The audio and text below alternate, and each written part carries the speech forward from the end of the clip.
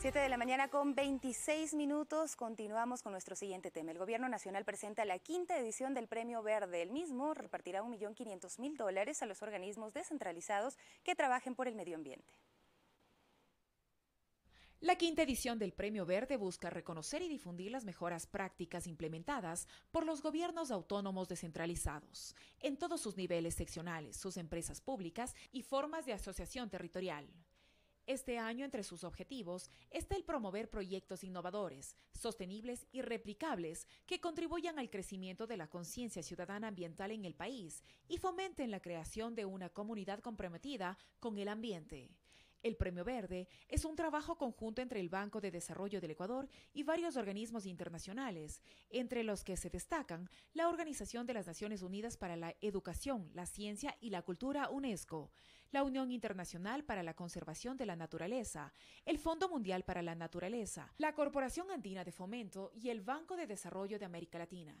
En esta quinta edición se entregarán un millón y medio de dólares a seis proyectos innovadores, sostenibles y replicables que incentiven la responsabilidad ambiental en el país y que contribuyan a la creación de una comunidad comprometida con el desarrollo sostenible y acciones contra el cambio climático. El Premio Verde es un aporte ecuatoriano para el sistema internacional que se enmarca dentro de los Objetivos de Desarrollo Sostenible de la Organización de las Naciones Unidas y que buscan mejorar las condiciones de vida de los ciudadanos del mundo. Javier Vidal, subgerente de general de negocios del BEDE, nos acompaña en este momento para abordar este tema y hablar un poco de esta responsabilidad que asumen también los GATS, los gobiernos autónomos descentralizados, en generar estos proyectos que ahora también tienen esta opción de participar nuevamente en esta quinta edición de los Premios Verde 2019. Muy buenos días, gracias por acompañarnos. Sí, eh, muchas gracias. Efectivamente, el banco está promoviendo esta quinta convocatoria para eh, el Premio Verde, un premio que desde el año 2012 eh, ha venido eh, fomentando la participación de los gobiernos autónomos descentralizados en todos sus niveles, es decir, a, nivel provincial, a nivel cantonal, a nivel parroquial e incluso en las varias formas asociativas como pueden ser las mancomunidades.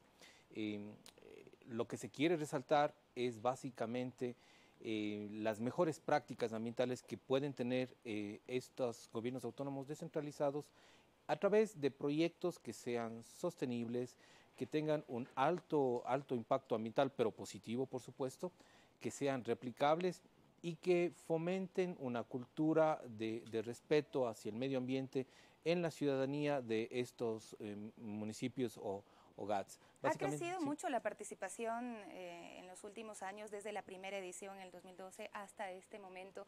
¿Cuál es la experiencia que tienen con los proyectos ganadores? Sí, efectivamente, desde el primera, la primera convocatoria que fue en el año 2012, tuvimos una participación eh, de 32 GATS, 32 proyectos que postularon para el premio. Pero en la anterior convocatoria, en la, en la cuarta, tuvimos ya la participación de más de 90, más de 90 eh, postulaciones, de las cuales se escogieron asimismo unos pocos a los cuales se les dio una distinción. Ahora tenemos seis premios, seis distinciones que se harán, se harán acreedores en tres categorías. Una categoría que es para municipios con una población superior a los 500 mil habitantes, habrá dos distinciones.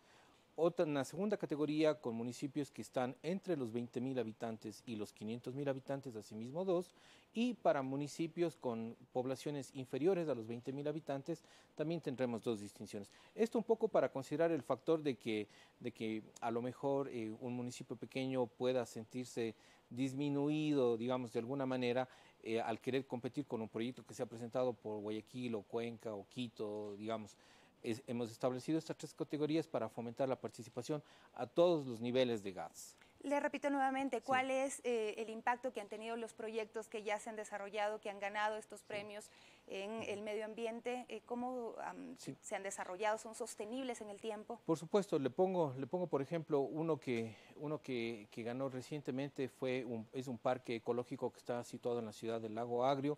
Em, no solo que se convirtió en un centro de interpretación de, aspectos ambientales, sino que además eh, ha fomentado muchísimo la cultura. Este momento, este parque ecológico se, se conserva o se mantiene como un, como un referente de la ciudad y un polo de atracción, de atracción turística. Otro, otro eh, premio que fue distinguido a la ciudad, al municipio de Cuenca, fue donde se, se hicieron eh, acciones de protección, pero en las investigaciones realizadas se determinó o se, o se detectó una nueva especie de anfibio, una, una, pequeña ranita que nunca antes había sido descubierta y que ahora, gracias a las investigaciones con este premio, se logró detectar. Y así otros de, otros de protección de fuentes hídricas, de protección de zonas, de zonas que deben estar protegidas, que deben estar en reserva y varios, varios. ¿Cuál es el impacto que tiene ya en la sociedad este tipo de proyectos? Eh, ¿Por qué fomentar que se sigan creando estas iniciativas que cuiden, que sean responsables con el medio ambiente? La razón principal es porque el gobierno nacional, a través del Banco de Desarrollo del Ecuador, eh, fomenta la participación, la interacción con los, con los GATS a, todos sus niveles, como habíamos mencionado, y porque el Ecuador eh, es parte de, de, varios convenios internacionales, especialmente con, la, con las Naciones Unidas, para fomentar eh, el cumplimiento de los, de los objetivos de desarrollo sostenible. entonces, esto, este premio verde se, alinea perfectamente con los objetivos de desarrollo sostenible en tres ejes. Un primer eje que es relacionado con factores abióticos, es decir, los proyectos que quieran postular para este premio podrán participar en, este componente, en este eje, em, aquellos proyectos que estén relacionados con agua, con suelo, con aire eh, y con cambio climático.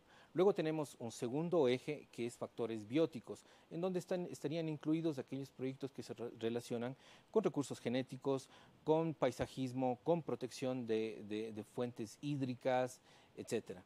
Y un tercer componente que se relaciona eh, con aspectos socioeconómicos y también culturales. Entonces aquí podrán participar proyectos que tengan que ver con educación ambiental, con gestión ambiental, con, con eh, patrimonio cultural y con, y con ciudades sostenibles. Entonces hemos tratado de, cubrir esos tres aspectos importantes para darle una, un entorno completo a, a los proyectos que los GATS puedan postular. ¿Hasta cuándo pueden postular estos proyectos? Sí, es importante mencionar de que hasta el 2 de agosto de este año se pueden presentar las postulaciones. Para ello, el, banco desde la matriz ha dispuesto a las seis sucursales que tiene distribuidas a lo largo del país para que los técnicos de esas sucursales apoyen a los GAS que así lo deseen, a que así lo soliciten, en el proceso de postulación, guiarles durante todo este proceso, que de paso todas las bases del, del, concurso y toda la información está situada en, está cargada en nuestra página web, pero los técnicos de nuestras, de nuestras sucursales podrán ayudar de una manera personalizada. Muchísimas gracias por acompañarnos, Javier Vidal, subgerente general de negocios del BEDE, quien nos contaba sobre esta quinta edición del Premio Verde 2019 y en general todos los proyectos que vengan desde los gobiernos autónomos descentralizados deberían tener esta marca de responsabilidad con el medio ambiente, porque solo así se puede pensar en un país sostenible y sustentable. Nosotros nos despedimos en primera impresión, pero enseguida viene Vanessa Herbaz con más noticias y por supuesto en Pública FM se quedan también con nosotros. Hasta pronto.